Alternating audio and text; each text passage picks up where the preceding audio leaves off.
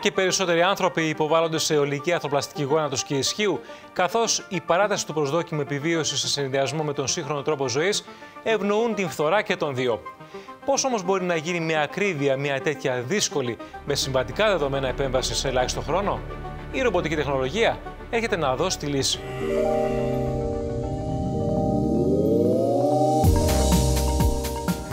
Η πιο κοινή κατάσταση φθοράς των χόντρων είναι η οστεοαρθρίτιδα. Συνήθως προσβάλλει το γόνατο ή και το ισχύο, με αποτέλεσμα πολλές φορές ο πάσχοντας να είναι μερικώ ανίκανος είτε για εργασία είτε ακόμη και για την καθημερινότητά του. Τότε λοιπόν η λύση είναι η χειρουργική. Χειρουργική όμως με βάση την σύγχρονη πλέον ρομποτική, η οποία μπορεί να είναι και ανώδυνη αλλά με υψηλή ακρίβεια. Κοντά μας λοιπόν για την ολική αρθροπλαστική γόνατος αλλά και ισχύου με τις σύγχρονες τεχνικές του ρομπότ έχουμε τον Δ. Σταύρο Λευρογιάννη, ο οποίος είναι χειρουργός ορθοπαιδικός αλλά και διευθυντής κλινικής ρομποτικής ορθοπαιδικής χειρουργικής ισχύου και γόνατος. Γιατρέ, καλώς ήρθατε. Ευχαριστώ πολύ για την πρόσκληση. Να είστε καλά. Λοιπόν, ρομποτική χειρουργική ισχύου είναι κάτι το οποίο το ακούμε αρκετά συχνά, αλλά νομίζω πρέπει να κάνουμε μια διάκριση μεταξύ της ρομποτικής σε ποιους τομείς ε, αυτή εφαρμόζεται και με ποιες ακριβώς μεθόδους. Ναι. Ε, μιλάμε για την πιο σύγχρονη τεχνολογία πλέον όσον αφορά τις ολικές αρθροπλαστικές κυρίως, ε, ισχύου και γόνατος. Ε, είναι ένα καινούριο πεδίο στη χειρουργική, στην ορθοπαιδική χειρουργική, ε, το οποίο μας δίνει εξαιρετικά πλέον αποτελέσματα. Ε, εδώ λοιπόν έχουμε πραγματικά τη χρήση ρομπότ, ε, το οποίο μέσα στη μνήμη του καταγράφονται διάφορα ανατομορφολογικά στοιχεία του ασθενούς πριν την επέμβαση. Ναι. Βγαίνει ένα εξατομικευμένο χειρουργικό πλάνο για τον κάθε ασθενή που είναι τελείως διαφορετικό και το βασικότερο από όλα είναι ότι μιλάμε για ε, ακρίβεια η οποία ε, στην τοποθέτηση των προθετικών υλικών η οποία φτάνει περίπου στο 99,5% σε αντίθεση με την ε, συμβατική αρθροπλαστική που κάνουμε, η οποία είναι περίπου στο 67%. Έχει τόσο μεγάλη απόκληση. Έχει τόσο μεγάλη απόκληση. Ή ναι. ακόμη και από ε, ρομποτική υποβοηθούμενη χειρουργική που χρησιμοποιούσαμε και χρησιμοποιούμε ακόμη και τώρα, της οποίας το ποσοστό επιτυχίας φτάνει περίπου στο 88 με 89% ε, σύμφωνα με τα διεθνή στατιστικά. Άρα και πάλι έχουμε μία απόκληση 10 τουλάχιστον ε, ποσοστιαίων μονάδων. Ναι, και ξέρετε, ε, αυτό, γιατί όταν συζητάμε για επιτυχία, τι εννοούμε επιτυχία, έτσι, γιατί πρέπει να ενημερώσουμε τους ε, τηλεθεατές. Τι σημαίνει επιτυχία σε μια ολική αρθροπλαστική, στο ισχύο ή στο γόνατο; Εδώ λοιπόν όλα αυτά έχουν να κάνουν με το, πρώτον με το χρόνο αφομοίωσης του προθετικού υλικού, έτσι ώστε ο οργανισμός να μην σοκάρεται από την ναι. καινούργια κατάσταση. Από να μην το αποθεί δηλαδή σαν ξένο σώμα; Ναι, να μην το αποθεί σαν ξένο ναι. σώμα, έτσι, αλλά να το, να το υιοθετεί σαν να είναι κάτι δικό του, πολύ πολύ γρήγορα, να έχει άμεση κινητοποίηση και αν είναι δυνατόν αυτά τα προθετικά υλικά να έχουν μακροβιωσιμότητα στο χρόνο, δηλαδή να κρατάνε για πάρα πολλά χρόνια, έτσι ώστε να μην έχουμε όλα, όλη αυτή τη δύσκολη συνθήκη για τον ασθενή μετά από 5 χρόνια, 10 χρόνια, 12 χρόνια να χρειάζεται να κάνει αναθεωρητική επέμβαση και αναθεωρητική επέμβαση κτλ. κτλ. Μάλιστα. Άρα λοιπόν αυτά είναι τα βασικά κριτήρια για να θεωρηθεί μια ε, ολική αρθροπλαστική γόνατος ή ισχύου επιτυχής. Βεβαίως. Μάλιστα. Και τώρα, σύγχρονη τεχνολογία, ρομπότ, το ακούμε πολύ συχνά. Τι σημαίνει λοιπόν ρομποτική χειρουργική και σε ποιες περιπτώσεις ενδείκνεται όταν μιλάμε τουλάχιστον για το ισχύο; Ναι. Ε, ε, τεχνητή νοημοσύνη λοιπόν μέσα στο σώμα μας. Ρομπότ τα οποία κατασκευάζονται από τους ανθρώπους ε, έχουν μέσα όλες τις απαραίτητες πληροφορίες ε, αυτή τη στιγμή στην Ελλάδα σκεφτείτε ότι υπάρχουν δύο ρομποτικά συστήματα μόνο, τα οποία είναι πιστοποιημένα. Βρίσκονται σε δύο πιστοποιημένες κλινικές μόνο έτσι, και πουθενά αλλού. Είναι πανάκριβα βέβαια συστήματα. Ε, είναι σαν αυτό που βλέπουμε γιατρέ τώρα. Είναι σαν αυτό που βλέπουμε τώρα. Μάλιστα. Ε, το οποίο ε, ουσιαστικά τι κάνει, παίρνει ε, από ε, αξονική τομογραφία που κάνουμε πριν το χειρουργείο, παίρνει όλες τις απαραίτητες πληροφορίες και με την καθοδήγηση του γιατρού ναι. ε, βγαίνει ένα εξατομικευμένο χειρουργικό πλάνο, το οποίο κατά τη διάρκεια του χειρουργείου ε, έρχεται ο γιατρός, κάνει την προσπέλαση στο ισχύο και από εκεί και πέρα το ίδιο το ρομπότ κάνει όλες τις οστεοτομίες ή τη διεύρυνση της ε, κοτήλης, δηλαδή της κούπας, της κοιλότητας, της κοιλότητας που χρειάζεται ή ναι. τοποθετεί ε, το εμφύτευμα. Ε, έτσι ακριβώς όπως ε, έχει ζητήσει ο χειρουργός να γίνει για να μπει σε κατάσταση έτσι ώστε ο, ο οργανισμός να ε, βρει μία κατάσταση σαν να είναι το η φυσιολογική του άρθρωση. Και αυτό βοηθάει πάρα πολύ στο να επαναποκτήσει τη λειτουργικότητα η συγκεκριμένη άρθρωση, σαν να είναι το φυσικό μας γόνατο ή σαν να είναι το φυσικό μας ισχύο. Πάμε λίγο να το δούμε αυτό ακριβώς ε, που περιγράψατε στο βίντεο. Βλέπουμε λοιπόν εδώ τοποθέτηση ενός ενθέματος. Είναι το ρομπότ με τον βραχίωνά του, ο ναι. οποίος να τονίσουμε και κρατάω αυτό που μου είπατε, ότι τα δεδομένα και τα στοιχεία και την κατεύθυνση την δίνει ο ειδικός. Ο χειρουργός. Το ρομπότ είναι εκεί για να εξυπηρετήσει ο οποίος, βοηθητικά. Ο οποίος το συγκεκριμένο ρομπότ μπορεί, αν κάτι δεν του αρέσει, θα μπορεί να αλλάξει το χειρουργικό πλάνο. Ε, να, παρέμβει. να παρέμβει λοιπόν μέσα στο χειρουργείο και να αλλάξει το χειρουργικό πλάνο στη μνήμη του ρομπότ. Αυτό που θέλω να σας πω ναι. και είναι πάρα πολύ σημαντικό είναι ότι το χειρουργικό πλάνο το οποίο έχει πάρει στη μνήμη του το ρομπότ Μόνο ο χειρουργός μπορεί να το αλλάξει μέσα στο χειρουργείο ιδάλως. Ε, εκεί που κόβει, εκεί που ε, βγάζει όλα τα προϊόντα φθοράς, εάν πάει ο χειρουργός να μετακινήσει τον ε, ρομποτικό βραχίωνα, ναι. δεν κάνει τίποτα το ρομπότ. Γιατί έχει μάθει να πάει ε, σε συγκεκριμένη κατεύθυνση. Άρα, να το πω έτσι, είναι και ασφαλές με δεδομένο ότι δεν μπορεί να δημιουργήσει ένα επιπλέον λάθος όχι. από μια κίνηση που μπορεί να γίνει κατά λάθος από έναν τρίτο. Όχι. Ευτυχώς δεν μπορεί ούτε καν ο χειρουργός να το μετακινήσει. Πρέπει να αλλάξει το χειρουργικό πλάνο μέσα στο χειρουργείο. Έτσι, για να μπορέσει να πάει λίγο παραδίπλα. Υπάρχει λοιπόν μια ασφάλεια για αυτή την επέμβαση η οποία βρίσκεται ναι. σε εξέλιξη εκείνη τη στιγμή. Είναι πάντα υπό τον έλεγχο του χειρουργού. Αυτό είναι το πιο σημαντικό νομίζω σημείο. Α υποθέσουμε λοιπόν τώρα ότι εφαρμόζουμε αυτήν τη ρομποτική χειρουργική ισχύου και το ερώτημα είναι πόσο ασφαλής είναι για τον ίδιο τον ασθενή, ε, λαμβάνοντας υπόψη ότι πρέπει και υπάρχει ένας προχειρητικός έλεγχος, ο οποίος είναι βασισμένος σε συγκεκριμένα δεδομένα. Ναι. Ε, κοιτάξτε, εγώ θα σας πω τη δικιά μου εμπειρία. Είμαι πολλά χρόνια ε, χειρουργός, ισχύου και γόνατος. Έχω κάνει χιλιάδες επεμβάσεις ε, με πολύ ευχαριστημένους ασθενείς. Αλλά η χρήση του ρομποτικού συστήματος ε, στο ισχύο προσφέρει μία τρομερή ευχαρίστηση στο χειρουργό, ε, μία τρομερή άνεση ψυχολογική, ε, γιατί ε, ανα πάσα ώρα και στιγμή ξέρει ο χειρουργός ε, τι κάνει. Δηλαδή, ε, θα σας πω ότι υπάρχει προγραμματισμός στο ρομπότ πριν το χειρουργείο, ανάλογα με την ανατομορφολογία του ασθενούς. Τι εννοώ. Σκεφτείτε λοιπόν ότι η κούπα, η κοτήλη, έτσι, ναι. που πάμε να φτιάξουμε. Η υποδοχή, εν ε, έχει, έχει μία κλίση σε σχέση με το οριζόντιο επίπεδο, η οποία κυμαίνεται από 40, 45, 47 μοίρες ανάλογα με τον ασθενή. Και έχει και μία έξω στροφή, η οποία είναι 10, 17, 20 μοίρες, ανάλογα με το ε, φύλλο του ασθενούς mm ε, κτλ. κτλ. Σκεφτείτε λοιπόν ότι όταν βρούμε με την αξονική τομογραφία, η οποία είναι ειδικού τύπου αξονική τομογραφία, τα ανατομορφολογικά σημεία του ασθενούς και για παράδειγμα έχει 42 μοίρες κλίση και 17 μοίρες πρόσθετη απόκληση, το ρομπότ λοιπόν έρχεται και τοποθετεί τα, την κοτιλιά πρόθεση. Το ένθεμα αυτό, το ένθεμα αυτό, μάλιστα. 42 μοίρες και 17 μοίρες. Είναι λοιπόν κάτι το οποίο το ανθρώπινο μάτι ε, μπορεί να διαλάθει ε, όταν κάνουμε συμβατική αρθροπλαστική. Εδώ δεν μας γελάει ποτέ. Εάν του πεις ότι εγώ θέλω να πάω 5 χιλιοστά πριν ε, φύγει το πίστιο αντέρισμα και μπω στην κοιλιακή χώρα. Θα πάει 5 χιλιοστά ακριβώς πριν ε, να μπει μέσα στην κοιλιά. Αυτό όμως έχει πλεονεκτήματα και μειονεκτήματα. Πρώτον, βεβαίως, γιατρέ, από ό,τι αντιλαμβάνουμε, πρέπει ο γιατρός, ο οποίος θα δώσει κατευθύνσεις, να είναι απόλυτα εξειδικευμένος και έμπειρος σαν ορθοπαιδικός. Και δεύτερον, αυτό το οποίο θα δώσει να εφαρμοστεί μέχρι εκεί που πρέπει. Δηλαδή, το ρομπότ να το εφαρμόσει κατά γράμμα. Αυτό είναι το πλεονέκτημα. Το μειονέκτημα είναι ο γιατρός που θα το χειριστεί ότι πρέπει να έχει πολύ μεγάλη εξειδίκευση πάνω σε αυτό. Ναι, έχετε απόλυτο δίκιο. Ε, πράγματι, η ρομποτική χειρουργική είναι, έχουμε να κάνουμε με, με precision, δηλαδή με όσο το δυνατόν να έχει μεγαλύτερη ακρίβεια.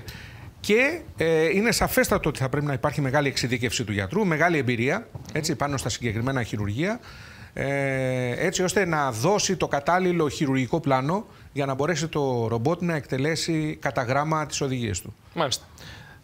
Εκτελούμε λοιπόν μια ρομποτική χειρουργική ισχύου. Πόσα χρόνια λοιπόν μπορεί αυτή η εφαρμογή της να χρησιμοποιηθεί και βεβαίως να έχει μακροβιωσιμότητα όπως αναφέρατε; Ε, σκεφτείτε ότι η ίδια η εταιρεία που μας δίνει τα προθετικά υλικά ε, μας λέει ότι πάνω από το 90% των ασθενών έχουν μακροβιωσιμότητα επιβίωσης των υλικών, των προθετικών υλικών, πάνω από 30 χρόνια. Ε, καταλαβαίνετε λοιπόν ότι όλη αυτή η ιστορία είναι μια επανάσταση στην ορθοπαιδική. Σκεφτείτε ότι ε, ακόμη και σήμερα έχουμε ασθενείς μικρούς σε ηλικία, οι οποίοι είναι 40, 45, 50, 55, οι οποίοι έχουν βαριά αρθρίτιδα στο ισχύο τους ναι. και στους οποίους τι λέγαμε μέχρι τώρα; Κάτσε με τον πόνο σου, περίμενε στο κρεβάτι σου και όταν μεγαλώσεις έλα να σου κάνουμε αρθροπλαστική γιατί κρατάει 10-15 χρόνια. ε, σκεφτείτε λοιπόν πόσα προβλήματα έχουμε λύσει ε, στους ασθενείς όσον αφορά την κινητοποίηση, τη λειτουργικότητά τους, ακόμη και την εργασία τους. Γιατί όταν κάποιος επαναποκτά ένα πλήρες λειτουργικό ε, ισχύο, καταλαβαίνετε λοιπόν ότι μπορεί ακόμη και να δουλέψει όπως δούλευε στις περισσότερες περιπτώσεις. Έχουμε ασθενείς που έχουμε κάνει με το ρομπότ, οι οποίοι ε, ασχολούνται με βαριές εργασίες, mm -hmm. χειρονακτικές εργασίες, όχι δουλειά γραφείου, και οι οποίοι εξακολουθούν και είναι στη δουλειά τους ε, active, ενεργητικοί πλέον. Ο χρόνος εκτέλεσης μιας τέτοιας επέμβασης με ρομπότ είναι μεγαλύτερος ή μικρότερος από μια συμβατική τοποθέτηση ε, ενθεμάτων ισχύου; Όλα έχουν να κάνουν με την εξειδίκευση του γιατρού. Ε, Χοντρικά, πάλι, από, πάλι από προσωπική εμπειρία θα σας πω, ε, για μια αρθροπλαστική ισχύου είναι περίπου στη μία ώρα και ένα τέταρτο, μία μισή ώρα θα σας έλεγα μέσω όρο. Συνολικός χρόνος μαζί με την άρκωση, μαζί όλα, με όλα, όλα, όλα. Ναι. Άρα λοιπόν μπαίνει κάποιος στο χειρουργείο μέσα, από τη στιγμή που θα μπει μέχρι τη στιγμή που θα βγει, είναι χοντρικά μία μισή ώρα. Μία μισή ώρα περίπου, ναι. Τώρα, ε, καταλαβαίνετε λοιπόν ότι ε, το ρομπότ δεν κάνει για όλους τους χειρουργούς. Θα πρέπει να το πούμε αυτό το πράγμα. Για όλους τους ασθενείς αντίστοιχα κάνει; Για όλους τους ασθενείς κάνει. ε, για τους ασθενείς οι οποίοι βρίσκονται σε τελευταίο στάδιο οστεοαρθρίτιδας. Έτσι, ή άλλης αρθρίτιδας, σε πάση περιπτώσει, η οποία έχει καταστρέψει ε, την άρθρωση του ισχύου. Αλλά σκεφτείτε ότι υπάρχουν χειρουργοί οι οποίοι από μόνοι τους είναι λίγο πιο αργοί σε σχέση με τον μέσο, μέσο όρο και άλλοι οι οποίοι είναι πολύ πιο γρήγοροι. Ε, σκεφτείτε λοιπόν ότι όταν ε, γιατί όλα αυτά χρειάζονται μια καμπύλη εκμάθησης. Όπως το είπατε κι εσείς. Μια εξειδίκευση. Σκεφτείτε λοιπόν ότι όταν ξεκινάει κάποιος από τα πρώτα χειρουργία, ε, ένας έμπειρος ορθοπαιδικός, ε, τα πρώτα του χειρουργία μπορεί να είναι τρεις ώρες. Και σιγά σιγά πέφτει ο χρόνος ο χειρουργικός. Γίνεται μια ρουτίνα ουσιαστικά. Γίνεται μια ρουτίνα. Αλλά όλα αυτά θέλουν χρόνο. Τώρα, ρομπότ και ανισομέρεια ισχύου από τη μία πλευρά στην άλλη. Ε, θεωρώ ότι είναι Υπάρχει ένα από τα. εφαρμογή. Λοιπόν, ε, ναι.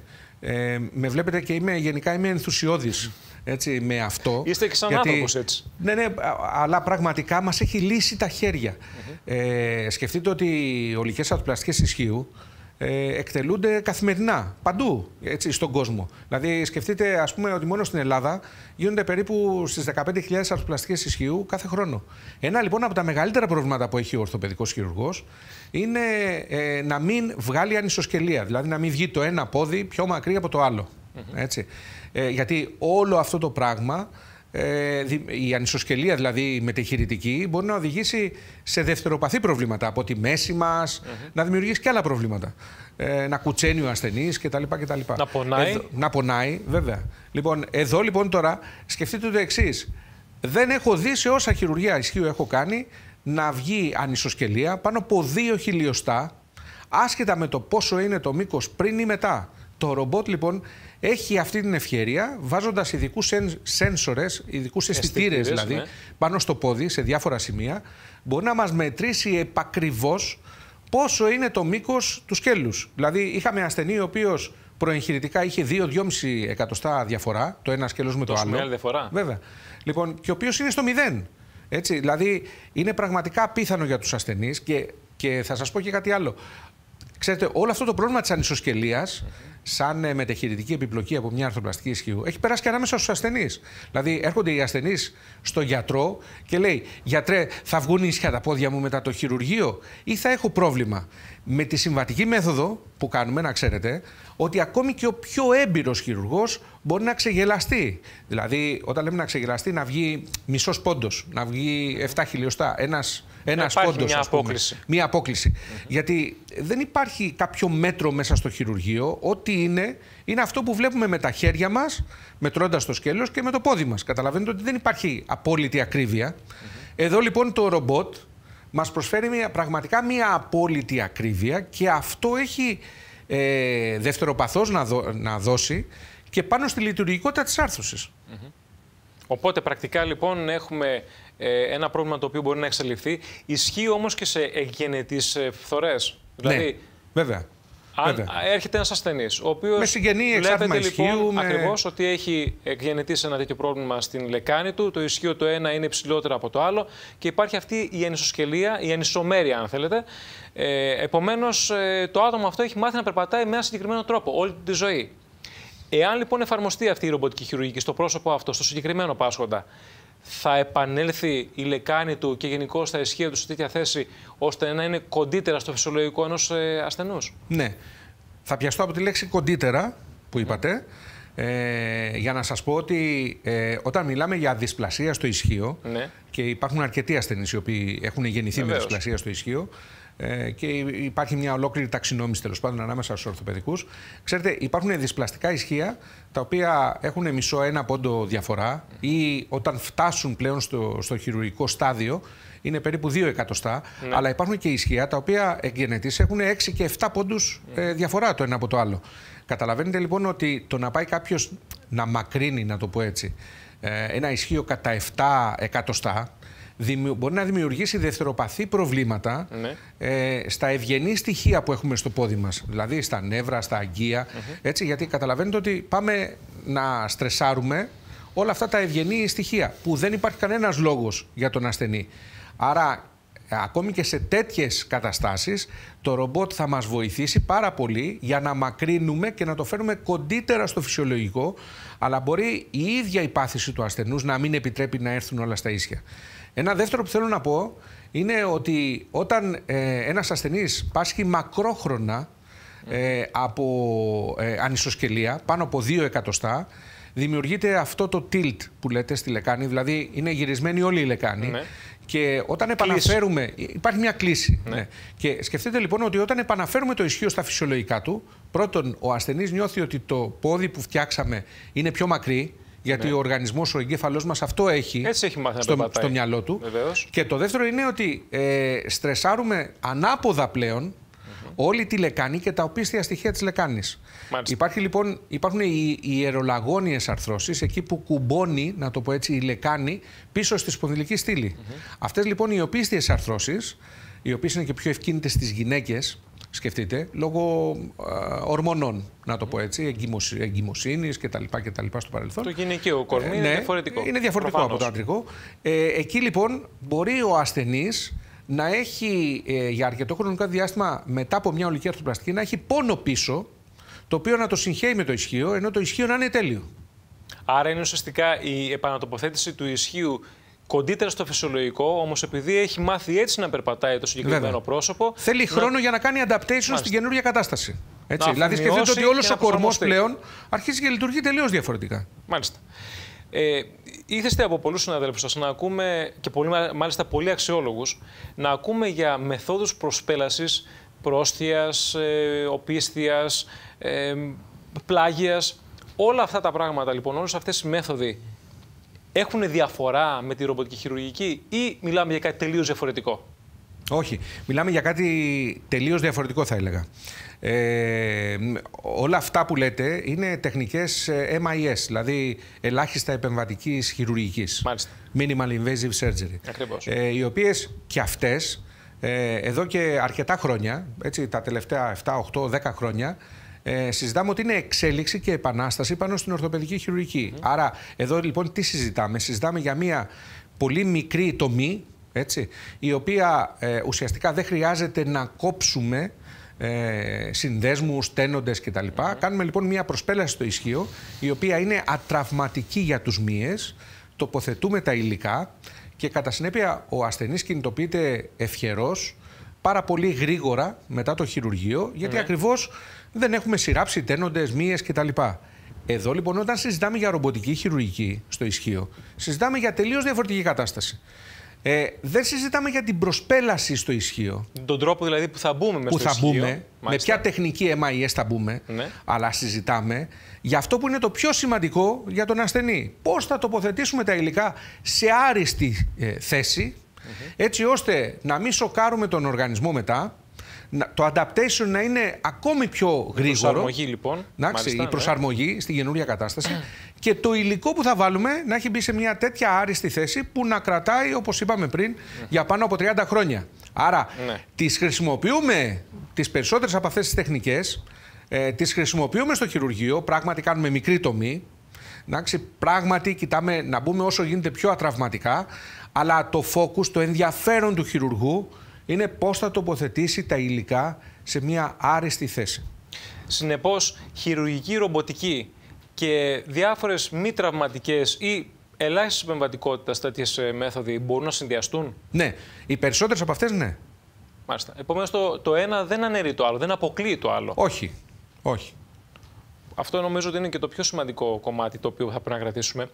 Το άλλο όμως ζήτημα το οποίο θέλω να θέσω είναι, επειδή μιλάμε για ρομπότ και στο μυαλό του καθενός έχετε ότι εφόσον το ρομπότ κάνει την επέμβαση, τότε ποιος λόγος να υπάρχει γιατρός; Τελικά, τι ισχύει, ποιος εκτελεί πραγματικά μια τέτοια επέμβαση, ειδικά για το ισχύο με το ρομπότ; Ναι. Ε, σας είπα και πριν ότι καθ' όλη τη διάρκεια του χειρουργείου ο χειρουργός έχει τον έλεγχο, τον απόλυτο έλεγχο, ε, του ρομπότ. Ε, φυσικά και το ρομπότ ε, εκτελεί τις οστεοτομίες ε, ή γλυφανίζει, να το πω έτσι, και φτιάχνει ας πούμε την Λιένει. κοτιλία, λιένει την, την, την, πρόθε- την, ε, την περιοχή που θα τοποθετηθεί η πρόθεση.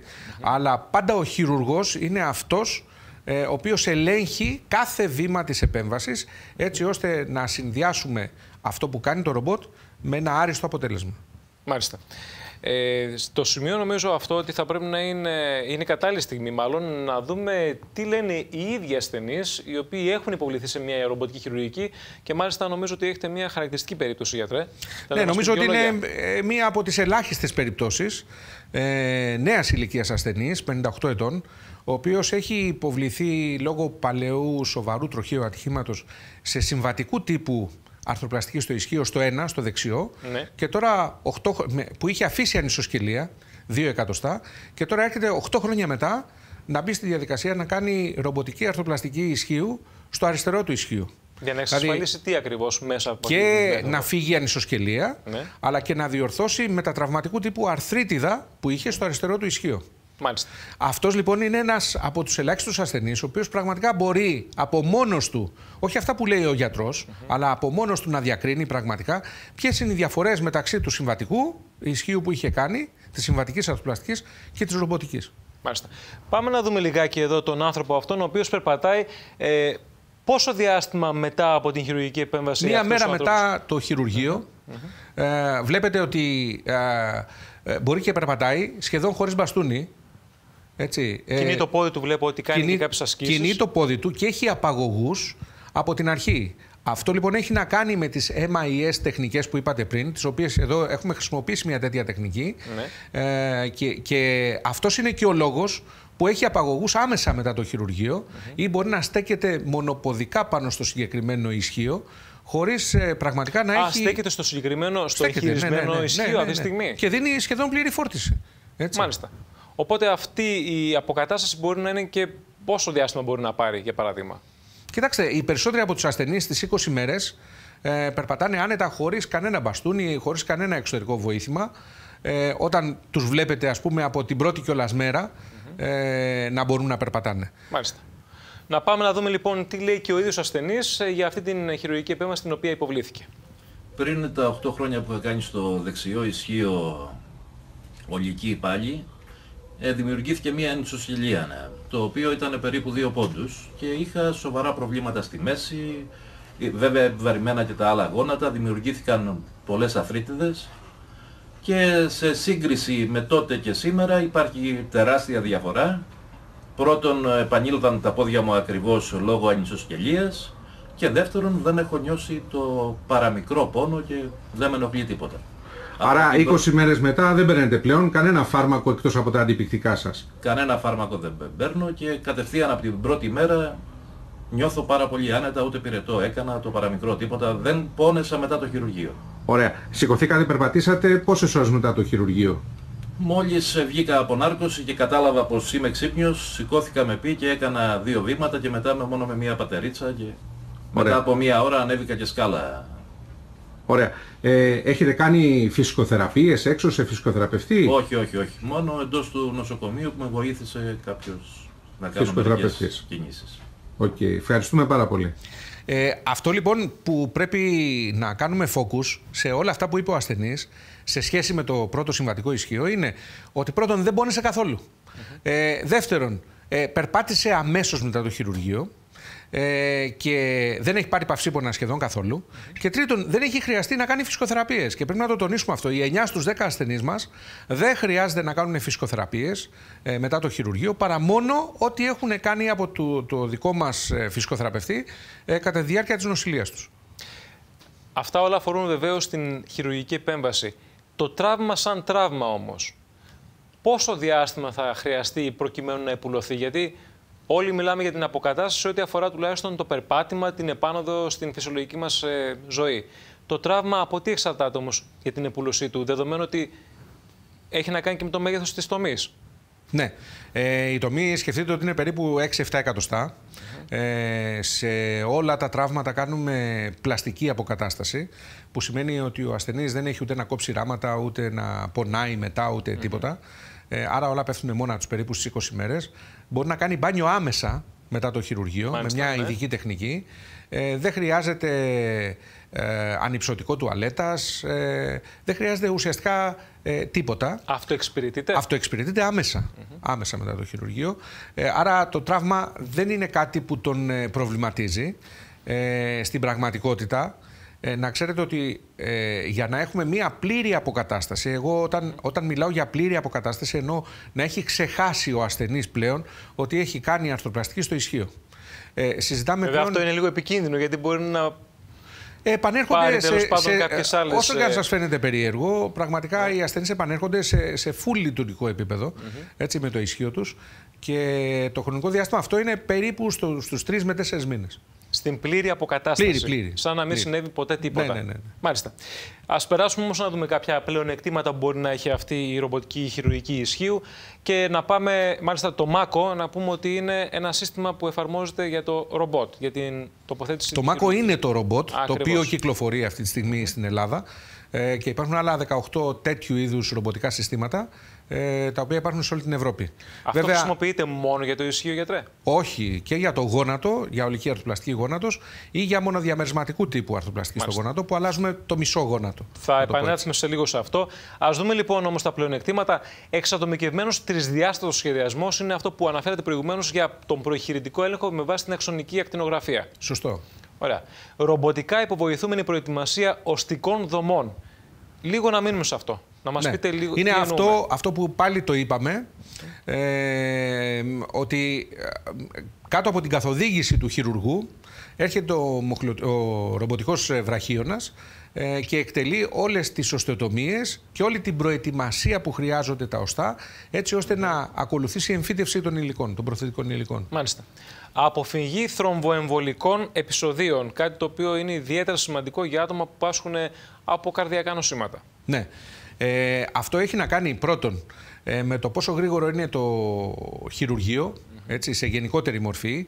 Ε, άρα η ταλαιπωρία του ασθενούς και του ποδιού είναι πολύ μικρότερη. Και το δεύτερο και κυριότερο είναι ότι δεν χρειάζεται να βάλουμε ενδαυλικούς οδηγούς ε, για την προετοιμασία των νοστικών δομών, επειδή απλά έρχεται και κόβει, κάνει τις οστοτομίες στο ρομπότ, ναι. που σημαίνει ότι δεν πειράζουμε καθόλου ε, το, τον μυελό των οστών, ε, έτσι ώστε να προκληθούν από εκεί διάφορα εμβολικά επεισόδια. Το τρίτο έχει να κάνει με την άμεση κινητοποίηση του ασθενούς. Από τη στιγμή λοιπόν που σκεφτείτε μία-δύο ώρες μετά το χειρουργείο, μόλις φύγει η νάρκωση από τα πόδια, mm-hmm. σηκώνουμε τους ασθενείς και τους κινητοποιούμε. Καταλαβαίνετε λοιπόν ότι από τη στιγμή που αρχίζει και υδραυλικά ε, λειτουργεί η γάμπα μας, ο γαστροκνήμιος μυς, ναι. ε, αρχίζει και απάγει το αίμα από τις βαλβίδες των φλεβών προς τα πάνω.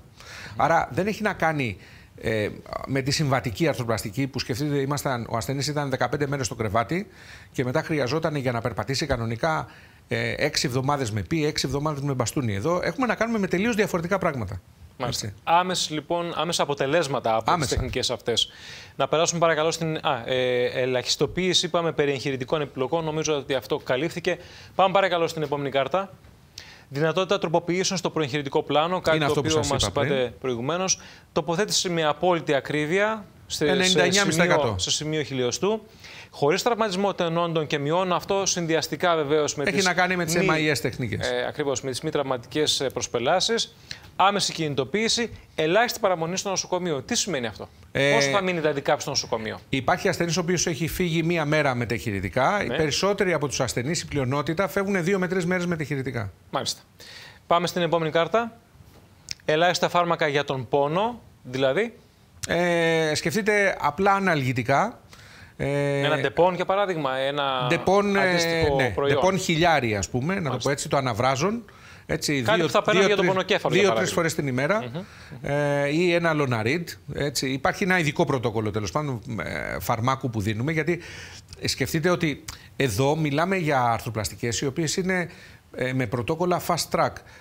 Αυτό, επειδή έχουν μιλήσει και άλλοι συνάδελφοι γι' αυτό, είναι ειδικό πρωτόκολλο που έχει να κάνει με την προεγχειρητική ε, αναλγησία, αλλά ε, και με το τι φάρμακα χρησιμοποιούμε Σκεφτείτε λοιπόν ότι ο ασθενής έχει πλήρη διάβγεια κατά τη διάρκεια της νοσηλείας του, άμεσα μετεχειρητικά. Άρα γίνεται τοπική Γιατί νάρκωση; Ουσιαστικά γίνεται και τοπική νάρκωση, έτσι, με ειδικά φάρμακα, όπου εδώ πέρα αποφεύγουμε πλέον όλη την δοσολογία των οπιούχων που κάναμε παλιά. Δηλαδή δεν ναι. δίνουμε πλέον πεθυδίνες, μορφίνες κτλ. για να είναι ντίζι ο ασθενής, να είναι ζαλισμένος, ας ναι. πούμε, στο κρεβάτι του κτλ. Σας λέω, έχει πλήρη διάβγεια από την πρώτη στιγμή και υπάρχει και μετεχειρητική αναλγησία για τις πρώτες 10 μέρες ε, με ειδική, ειδικού τύπου τοπική νάρκωση, ε, η οποία πραγματικά δεν δίνει καθόλου πόνο. Μάλιστα.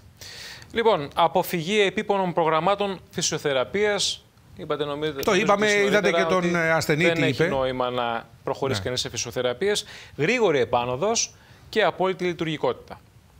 Και τώρα γιατί το ερώτημα είναι από τη στιγμή που έχουμε μια τέτοια χειρουργική τεχνική στα χέρια μας, ε, μου είπατε ότι μπορεί να εφαρμοστεί και σε άλλα σημεία, όπως για παράδειγμα το γόνατο.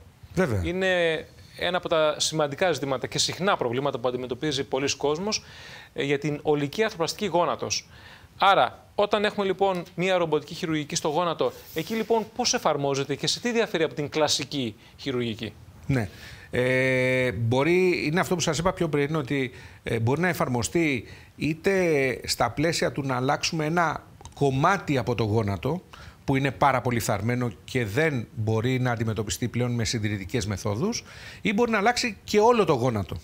Είναι πιο συχνή πάθηση ε, σε σχέση με το ισχύο. Άρα έχουμε πολύ περισσότερες αρθροπλαστικές στο γόνατο έτσι, σε σχέση με το ισχύο ε, και νομίζω ότι δίνει εξαιρετικά πραγματικά ε, αποτελέσματα. Ε, και εδώ γίνεται κάτι παρόμοιο με όλα αυτά που συζητάμε για το ισχύο, δηλαδή ε, γίνεται ειδικού τύπου αξονική ε, ειδικός ε, εξατομικευμένος χειρουργικό πλάνο, το οποίο βγαίνει αφού βάλουμε στη μνήμη του ρομπότ ε, την αξονική τομογραφία.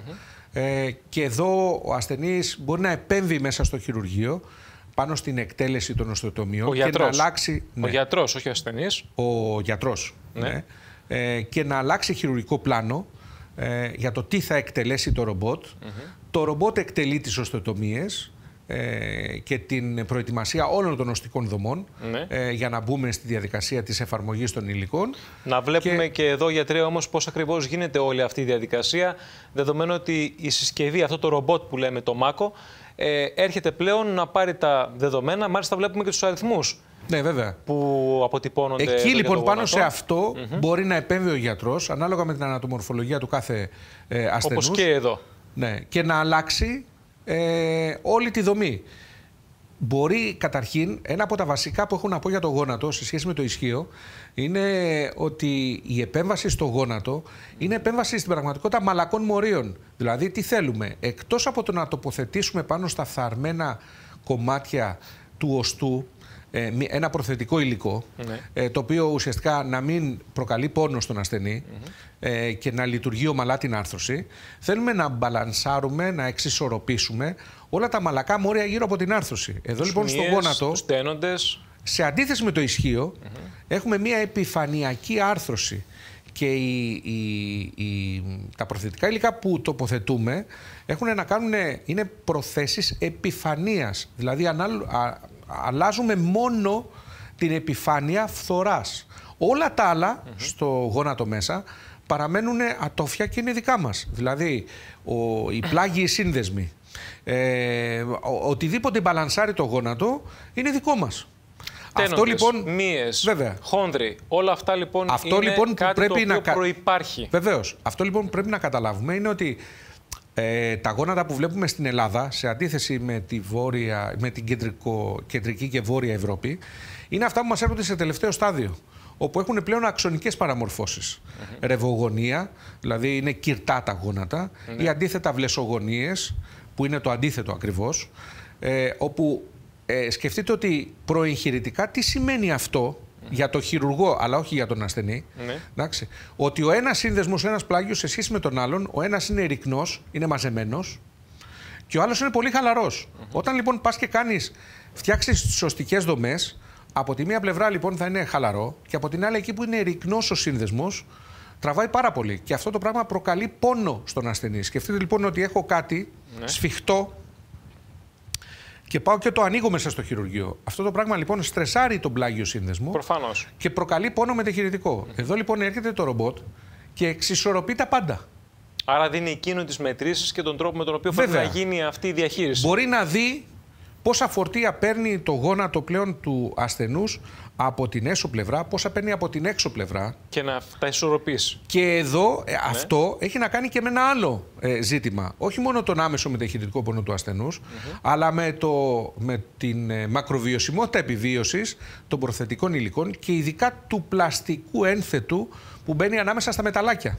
Ο χόνδρος ουσιαστικά. Αυτό λοιπόν που αντικαθιστά Ο το αντίστοιχος χόνδρο χόνδρος. ουσιαστικά και Ναι. που είναι ας πούμε εδώ και χρόνια το πρόβλημα της ορθοπαιδικής γιατί αυτό είναι που χαλάει στην αρχή και Και μετά χρειάζεται να προκαλείται γίνει... η οστεοαρθρίτιδα. Σωστά; Όχι, αυτό είναι, ναι. Εγώ μιλάω τώρα για το πλαστικό που βάζουμε στα ένθετα, στα προθετικά υλικά. Μάλιστα. Στην επόμενη λοιπόν φάση, αφού έχει γίνει η επέμβαση. Αφού λοιπόν έχει γίνει η επέμβαση, αυτό λοιπόν που ήταν το πρόβλημα στην ορθοπαιδική είναι ότι χαλάει το πλαστικό ένθετο που αντικαθιστά τους χόνδρους Να και το τους δούμε και εδώ μηνύσκους. λοιπόν είναι το κενό Είναι αυτό, αυτό το μπλε ακριβώς. που φαίνεται στο ενδιάμεσο. Ωραία. Αυτό Εντάξει. λοιπόν μέχρι πρότινος χαλούσε εύκολα. Γιατί, Καταστρεφόταν εύκολα. γιατί δεν μπορούσαμε να εξισορροπήσουμε με το ματι τους συνδέσμους. Δηλαδή τα φορτία που παίρνει το γόνατό μας από την έσω και από την έξω πλευρά. Εδώ λοιπόν λύνουμε αυτό το πρόβλημα. Άρα τα φορτία που παίρνει το πλαστικό είναι τα ίδια τόσο απ' έξω όσο και από μέσα. Και αυτό είναι που εξασφαλίζει μακροβιωσιμότητα επιβίωσης και συζητάμε ότι πλέον αυτά τα σύγχρονα υλικά έχουν ε, μακροβιωσιμότητα επιβίωσης πάνω από 30 χρόνια. Αυτό το αποτέλεσμα θα ήταν ε, εφικτό με μια συμβατική μέθοδο; Όχι. Χωρίς ρομπότ ή χωρίς την πλοήγηση για την οποία θα μιλήσουμε σε λίγο και για αυτήν; Ναι, και η πλοήγηση μας δίνει αρκετά στοιχεία, Ναι. ε, αλλά ε, πρέπει να βρεις εξειδικευμένο πρόγραμμα ε, ψηφιακής πλοήγησης, το οποίο να σου δίνει και στοιχεία κινηματικής. Τα περισσότερα από τα αρχικά τουλάχιστον συστήματα πλοήγησης ε, μας έδιναν, δεν μας έδιναν την εξορρόπηση των μαλακών μορίων, αλλά πώς θα τοποθετήσουμε μόνο τα υλικά. Μάλιστα. Εδώ λοιπόν έχουμε μια ουσιαστική διαφορά. Στην προκειμένη περίπτωση, από ό,τι αντιλαμβάνουμε στη ρομποτική χειρουργική, μιλάτε για τοποθέτηση του ενθέματος ή της άρθρωσης αυτής, Ναι. ενώ η, το navigation, η πλοήγηση που γίνεται με άλλα συστήματα, αφορά κυρίως την κατεύθυνση των εργαλείων. την κατεύθυνση των εργαλείων, πώς θα κόψει ο χειρουργός, αλλά εδώ εκτελεί ο χειρουργός. Με πριόνι το οποίο το έχει στα χέρια του. Δεν μιλάμε για μοχλωτικούς, για ε, Βραχίονες. βραχίονε ρομποτικούς. Έτσι. Ε, Ενώ εδώ είναι- το, το πριόνι, τέλος πάντων τα εργαλεία, τα χειρίζεται το ρομποτικ, ο ρομποτικός βραχίωνας. ο ρομποτικός βραχίωνας, βέβαια. Είναι κα- κάτι το οποίο είναι τελείως διαφορετικό. Εντάξει. Γι' αυτό και σας είπα ότι υπάρχουν μόνο δύο ρομπότ σε όλη την Ελλάδα, σε δύο πιστοποιημένα κέντρα και είναι ε, 10, 12, 15 οι γιατροί που είναι πιστοποιημένοι έτσι, στο συγκεκριμένο ρομποτικό σύστημα. Όλα τα άλλα που κάνουμε, σας λέω, είναι ψηφιακή πλοήγηση. Χωρίς αυτό να σημαίνει ότι κατακρίνουμε τα συγκεκριμένα συστήματα, αλλά σκεφτείτε ότι μας δίνουν μέρος της δουλειάς που γίνεται με το ρομπότ. Συνδυαστικά μπορούν να λειτουργήσουν αυτά τα δύο; Όχι. Η ψηφιακή πλοήγηση και το ρομπότ; Ή το ένα θα κάνει κάποιος ή το άλλο. Δεν υπάρχει. Απλά σκεφτείτε ότι το ρομπότ είναι η εξέλιξη των ψηφιακών συστημάτων πλοήγησης. Ε, μιλάμε, μιλάμε λοιπόν για μια, ε, πώς να πω, μια καινούρια η οποία είναι γνωστή στους ορθοπαιδικούς εδώ και πάρα πολλά χρόνια, μια εικοσαετία θα σας έλεγα και πλέον, που λέγεται CAOS, Computer Assisted ε, Orthopedic Surgery. Υποβοηθούμενη λοιπόν. Είναι υποβοηθούμενη λοιπόν. Είναι navigational system, ε, systems. Έτσι, τα οποία ξεκίνησαν στην αρχή και η μετεξέλιξη όλων αυτών των συστημάτων είναι το ρομπότ. Και σκεφτείτε ότι αυτή τη στιγμή υπάρχουν τρει-τέσσερι μεγάλοι κολοσσοί ε, οι οποίοι δίνουν ορθοπαιδικά υλικά έτσι, στον κόσμο, οι οποίες όλες αυτές οι εταιρείες πλέον ναι. έτσι, ασχολούνται αυτή τη στιγμή για το πώς θα βγάλουν κάποιο άλλο ρομπότ στην αγορά. Ήδη υπάρχει μια εταιρεία η οποία βγάζει ένα δεύτερο ρομπότ ε, με άλλο όνομα, τέλος πάντων, το οποίο περιμένουμε από στιγμή σε στιγμή να πάρει ε, CE mark, να πάρει άδεια δηλαδή, ναι. για την Ευρώπη. Αλλά αυτή τη στιγμή το μόνο που κυκλοφορεί στην Ευρώπη είναι το συγκεκριμένο ρομποτικό σύστημα. Μάλιστα. Υποβάλλεται λοιπόν ένας ε, ασθενής σε μια χειρουργική επέμβαση με ρομπότ. Το ερώτημα είναι πόσο χρόνο απαιτείται Καταρχάς, για την επέμβαση, είναι περισσότερος, λιγότερος ο χρόνος; Όχι, όχι. Μιλάμε για 40-45 ε, λεπτά. Σε σχέση με τη συμβατική μέθοδο; Ε, πάντα εξαρτάται από τον γιατρό. Έτσι, και από την εμπειρία του ναι. γιατρού. Ε, εγώ θα σας έλεγα ότι είναι περίπου μία μισή ώρα. Έτσι. Θα έλεγα ότι στα δικά μου χέρια τη συμβατική αρθροπλαστική την κάνω περίπου σε 30 με 35 λεπτά. Έτσι, άρα είναι ένα ελάχιστο περισσότερο. Ε, έχει να κάνει με το ρομπότ και όλα αυτά έχει να κάνει με το calibration του ρομπότ όταν μπαίνουμε μέσα στο χειρουργείο. Τις ρυθμίσεις λοιπόν. Να ρυθμίσουμε το ρομπότ έτσι, πάνω στον ασθενή εκείνη τη συγκεκριμένη ώρα. Εδώ έρχεται λοιπόν η εξατομίκευση. Ναι, βέβαια. βέβαια. Επομένως, βάσει αυτών των δεδομένων που έχουμε για τον ασθενή, ρυθμίζεται το ρομπότ ώστε να μας δώσει και την σωστή και αποτελεσματική πλέον ε, επιτυχημένη επέμβαση. Έτσι ώστε να μπορέσει να εκτελέσει αυτά που του έχουμε βάλει στη μνήμη του. Έτσι. Δηλαδή, πρώτα το βάζουμε να εκτελέσει διάφορες κινήσεις στο χώρο έτσι ώστε να ξέρουμε ότι εκεί που στοχεύει είναι το πραγματικό στοιχείο. Ανταποκρίνεται ουσιαστικά. Ανταποκρίνεται. Έτσι, και μετά μπαίνει στο πρόγραμμα του συγκεκριμένου ασθενούς για να ξέρουμε ότι αυτά που βλέπεις στη μνήμη του μπορεί να τα εκτελέσει ε, με άριστο τρόπο.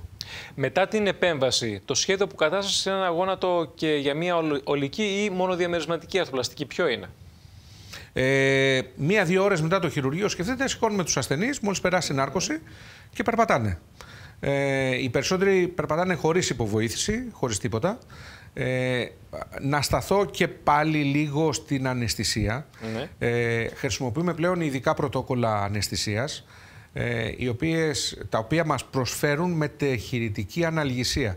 Δεν χρησιμοποιούμε οπιούχα, πεθυδίνες μορφίνες, ε, αλλά χρησιμοποιούμε πλέον άλλου είδους φάρμακα, σύγχρονα φάρμακα, ε, τα οποία αφενός μεν ε, προκαλούν αναισθησία στο συγκεκριμένο σημείο της επέμβασης. Από την άλλη πλευρά δίνουν πλήρη κινητικότητα στο σκέλος, έτσι ώστε ο ασθενής ε, να μπορεί ε, από μόνος του να σηκωθεί και να περπατήσει. Μάλιστα. Και η πλήρης αποκατάσταση λοιπόν για ένα τέτοιο γόνατο το οποίο έχει εγχειριστεί για να μπορέσει να τρέξει, για να μπορέσει πλέον να επανέλθει στην καθημερινότητά του. Χωρίς βεβαίως να απαιτεί κάποιος να ναι. γίνει πρωταθλητής όταν δεν είναι πριν την επέμβαση. Ποιος είναι; Ε, θα σας έλεγα κατά μέσον όρο είναι περίπου 15 με 20 μέρες. Ε, αλλά πάντα εξαρτάται από τον ασθενή. Εξαρτάται από την ε, προεγχειρητική δραστηριότητα του ασθενούς.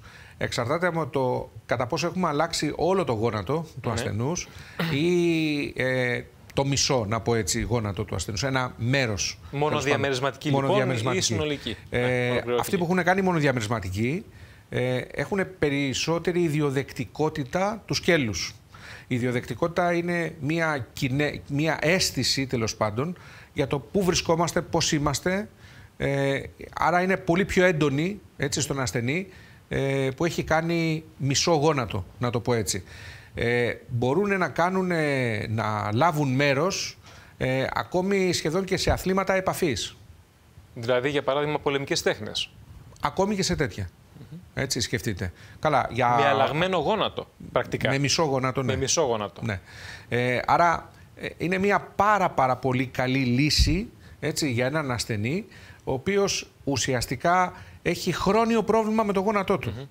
Και να μπω και λιγάκι σε κάποιο άλλο κομμάτι ε, της ψυχολογίας ε, το οποίο ε, εμείς οι ορθοπαιδικοί δεν θα έλεγα ότι είμαστε ιδιαίτερα familiar, ας πούμε, πώς να πω, ιδιαίτερα εξοικειωμένοι.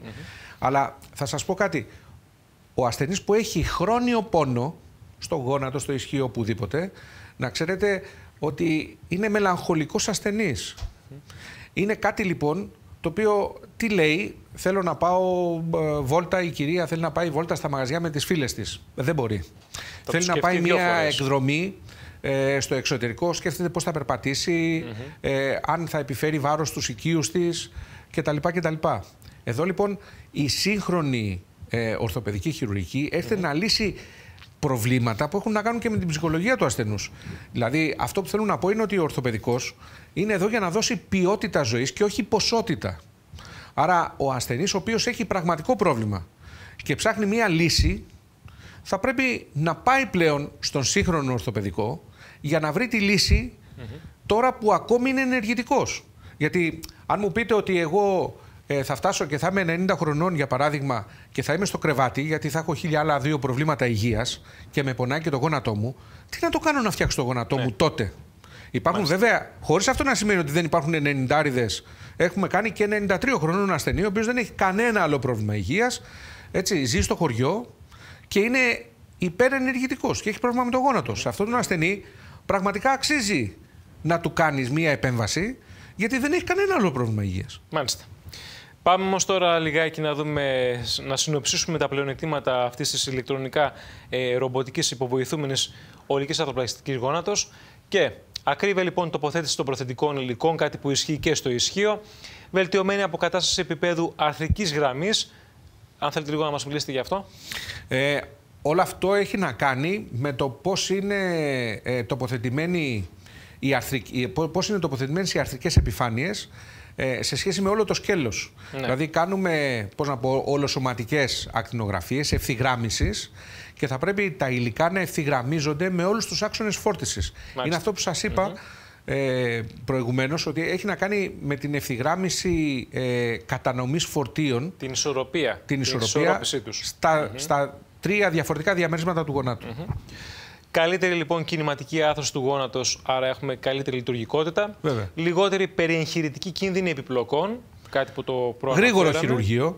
Mm Σύντομο. Όσο, όσο λιγότερο είναι, σκεφτείτε, ε, exposed το τραύμα. Εκτεθειμένο λοιπόν ε, το τραύμα, ναι. Ναι, στον ατμοσφαιρικό αέρα.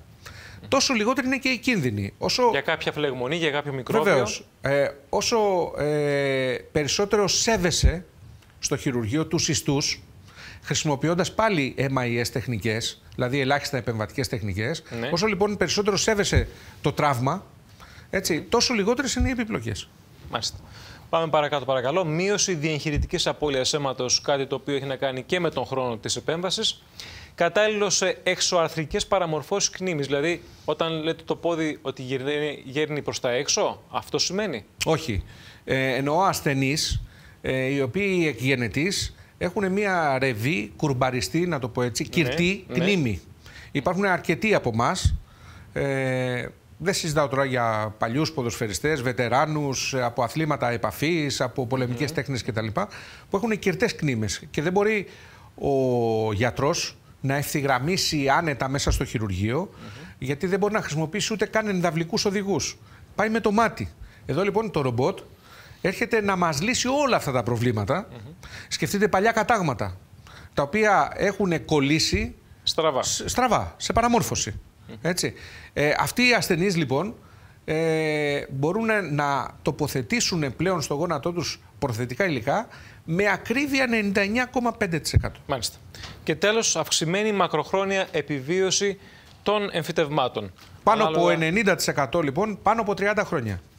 Υπάρχουν όμως και κάποια μειονεκτήματα στην συγκεκριμένη τεχνική. Όλα έχουν μειονεκτήματα. Πάμε λίγο να τα δούμε. Μεγάλη καμπύλη εκμάθησης που αφορά ναι. ουσιαστικά την εκπαίδευση που πρέπει να κάνει ένας γιατρό. Προκειμένου να είναι. Και δεν θα έλεγα μόνο για τον γιατρό. Έτσι. Και θα στο έλεγα για προσωπικό το όλο, το, υπόλοιπο. για όλο το χειρουργικό περιβάλλον. Μάλιστα. Έτσι. Και δεν θα στα- στεκόμουν ούτε καν εκεί. Ε, θα στεκόμουν σε αυτό που σας είπα. Ε, μετεχειρητική αναλγησία. Άρα σημαίνει ένας αναισθησιολόγος ο οποίος να ξέρει ε, από fast track μεθόδους ε, αναλγησίας. Ε, αναισθησιολόγος ο οποίος να ασχολείται με περιοχική αναισθησία πάνω στο τραύμα. Ε, μιλάω για φυσικοθεραπευτή, ο οποίος να είναι ε, πολύ εξοικειωμένος με γρήγορη αποκατάσταση, με το πώς θα σηκώσει τον ασθενή, τι πρόγραμμα θα κάνει την πρώτη μέρα, τι θα κάνει τη δεύτερη, τι θα κάνει την τρίτη και ούτω καθεξής στο σπίτι του. Ε, ακόμη και η εργαλειοδότρια, η κοπέλα κίνησης, ε, είναι πάρα πολύ σημαντικά στοιχεία μέσα στο χειρουργείο. Όλη η ομάδα. Έτσι ώστε να γίνεται γρήγορα το χειρουργείο. Θα πρέπει η εργαλειοδότρια να ξέρει να απλώσει το χέρι ο γιατρός και να ξέρει ποια είναι η επόμενη κίνησή του. Άρα ο κάθε ένας μέσα στην ομάδα αυτή λειτουργεί σαν Εκτελεί ένα μια καλοπολισμένο συγκεκριμένη. γρανάζι. Βεβαίως. Μάλιστα.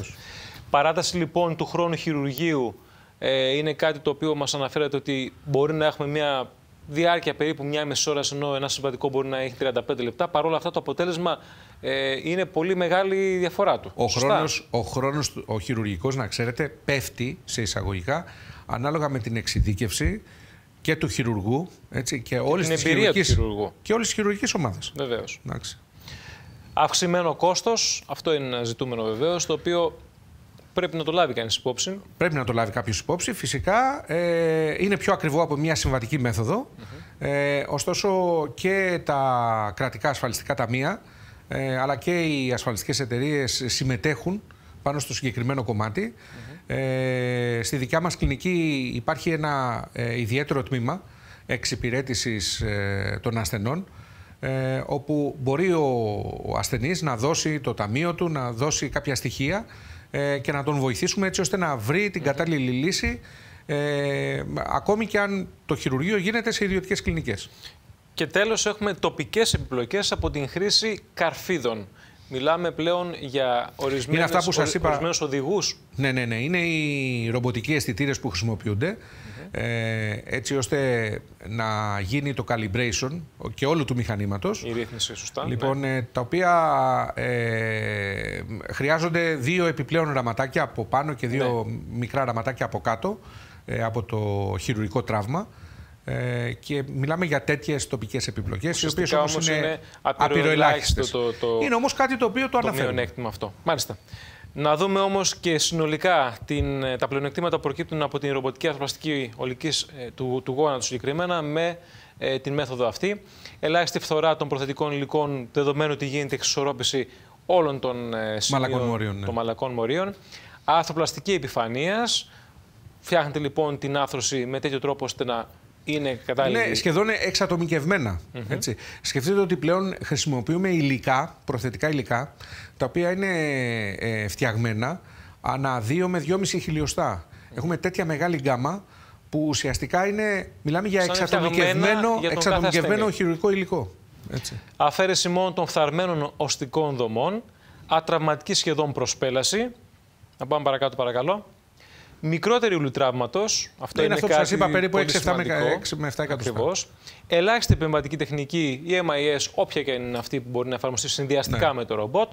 Ανέμακτη μέθοδος δεδομένου και του χρόνου που υπάρχει για, Ναι. την, ε, θερα- για την μέθοδο αυτή.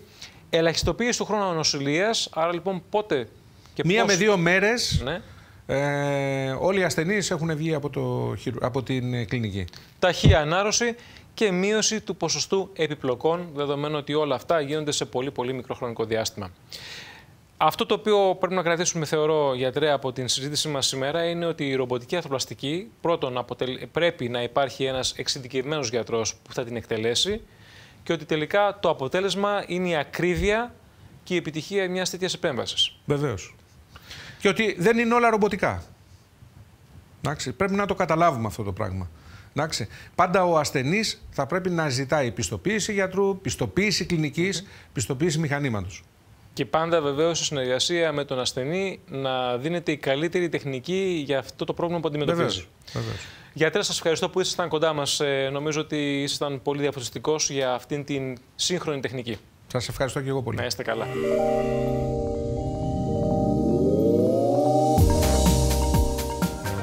Όποια Όποια μέθοδο και αν επιλέξει ένας ασθενής με πρόβλημα στο ισχύο ή στο γόνατο, ιδιαίτερη σημασία θα πρέπει να δώσει την επιλογή του εξειδικευμένου και έμπειρου γιατρού. Ο ειδικός είναι ο μόνος που μπορεί να εγγυηθεί το αποτέλεσμα με σύμμαχο την σύγχρονη τεχνολογία και τη ρομποτική. Ευχαριστούμε πολύ που ήσασταν κοντά μας.